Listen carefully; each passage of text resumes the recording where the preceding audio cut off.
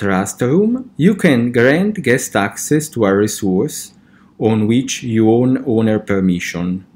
To do it, simply click on the Grant Guest Access button and, inside the form, enter the email address of the guest, the permission you want to grant him or her, the duration of his or her access, if you want that the guest will be able to access that resource only once or multiple times.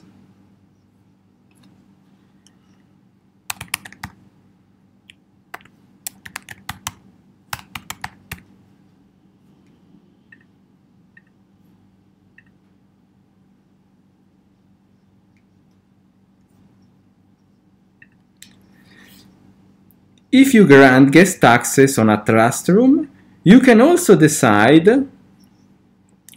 if you want to grant this access only to that trust room and per default on the from now on new created element inside it or also on the existing sub-elements.